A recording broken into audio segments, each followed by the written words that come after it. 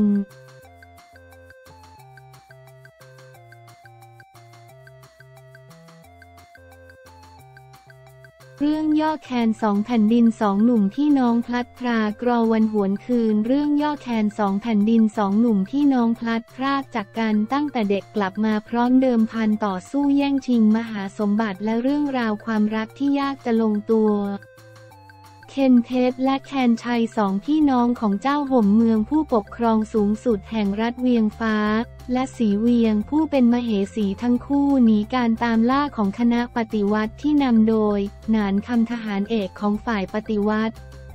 ในระหว่างการหลบหนีเจ้าห่มเมือง และเจ้าสีเวียงถูกยิงตายทำให้เคนเพชรและแคนชัยตกลงไปในแม่น้ำโขงและได้รับแรงกระแทกอย่างหนัก จนสูญเสียความทรงจำ สายน้ำโขงได้พัดพาให้ทั้งคู่แยกจากกันไปอย่างไม่รู้ชะตากรรม 20ปีต่อมาที่ฝั่งไทยแคนชัยถูกครอบครัวของอานนท์และคำล่ารับอุปการะ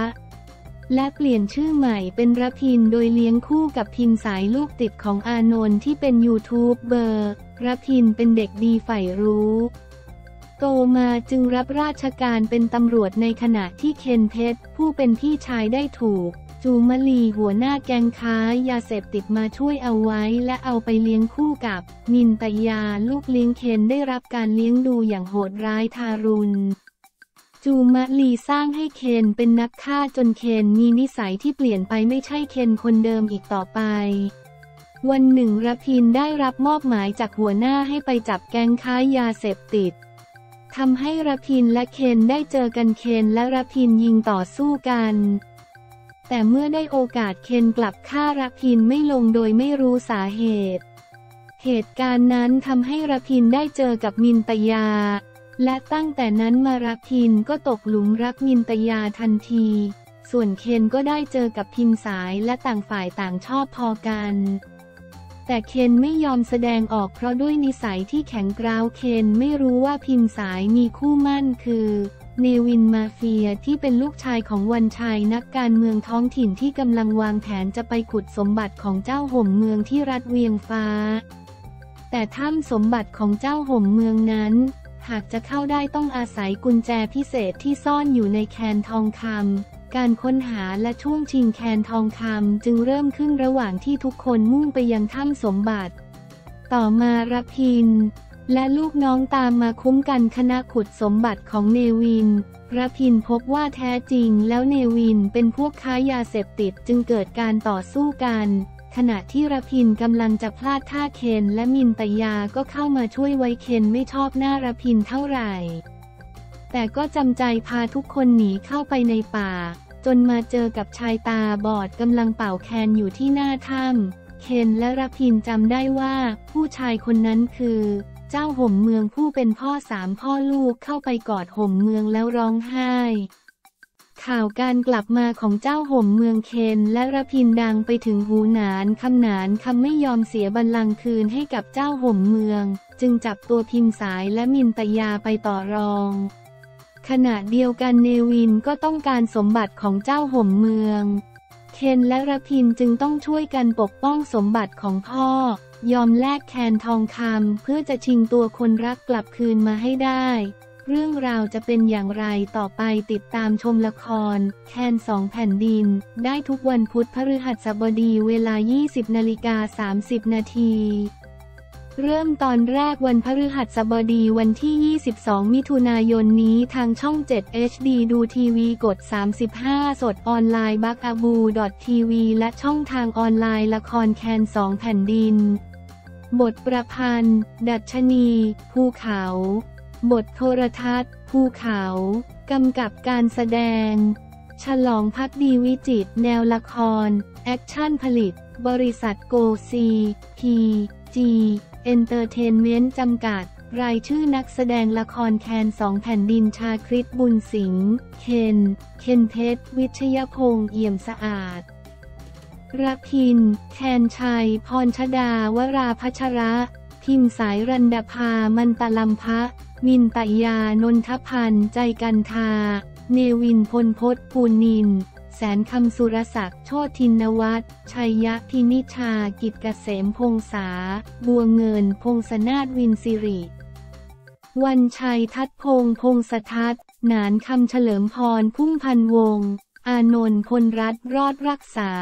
เจ้าห่มเมืองจตุรงโกลิมาศพันคำสุภวัตอ่ำประสิทธิ์ มาร์กนรงฤทธิ์ปุ่นบุรม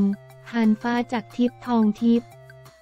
จูมลีเบนซายกีปัด คำล่าสกุลตลาปีกจัตุรัส สีบัวเพชรดีสีเริกเข้าอินสิทธิพงศ์อินเสถียร พอใจวรธนพจน์ ตันติวิริยจงกูลด็อกเตอร์วิทยาชาลีกรีชัย เมฆโจอี้เชิญยิ้ม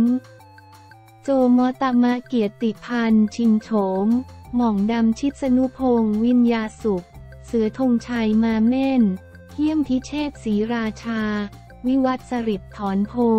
จ่ายงชาลีเนียนสิริ ทิเชษศิรานียานกิติการ แก้วใจพัดจักโกมานวันทาจักกระพงพาคีชีพ พรานคง